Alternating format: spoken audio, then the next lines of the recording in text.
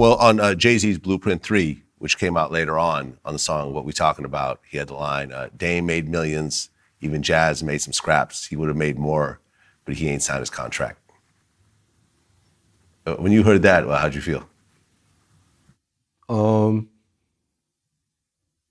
of, I guess it was true. I, guess, I guess I guess it's true. Okay. Um, but you know, um,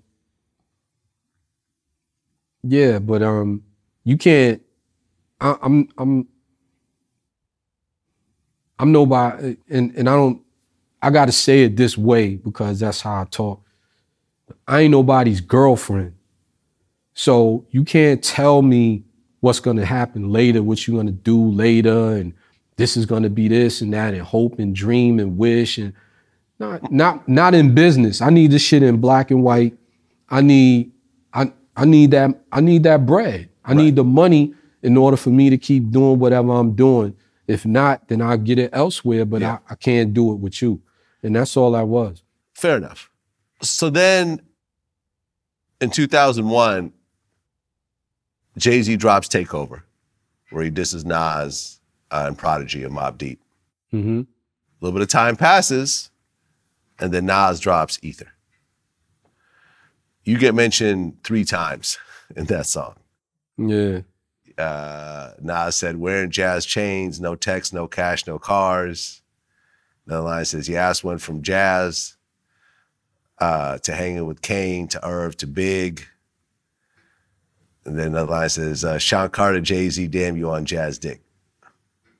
Yeah, I, you know. Uh, okay. So, that, that that that that was very awkward because when I heard it, yeah, you- you're now being thrown in the middle of this thing. right. Okay, And- and, and, before you answer that question, there was a rumor that you and Nas were talking before he dropped Ether, and he was like, kind of picking your brain to try to come up with lines for that song. Uh, uh, True or false?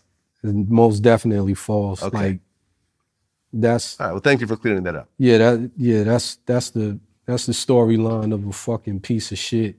Like I would never do anything like that. Um but I I will tell you, I felt so very awkward.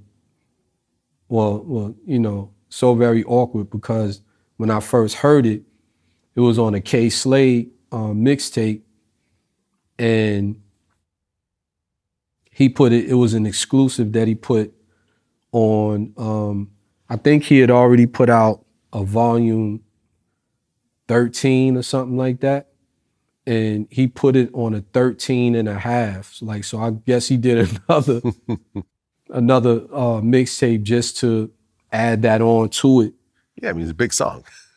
Yeah, and um, you know, it was just mad awkward because number one, I would never do that. Number two, they were playing it, and they kind of. I was up at the office, and they kind of staged it, so I was in the office, kind of like to see my reaction, and I'm like, that shit is fucking awkward. Like that. That's hmm. all I could say. Like that shit is crazy. I bet.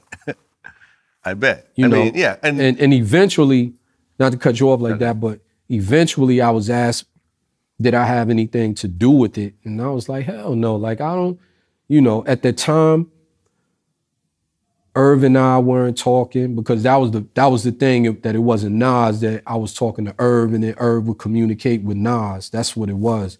yeah, Um, and I, I wasn't talking like that with with Irv. I mean, we were cool, but you know, I wasn't, and I was not talking to Nas. And even if I was talking on a a, a frequent basis with both of those guys, like none of that type of shit would ever come out of my mouth. And you know, yeah.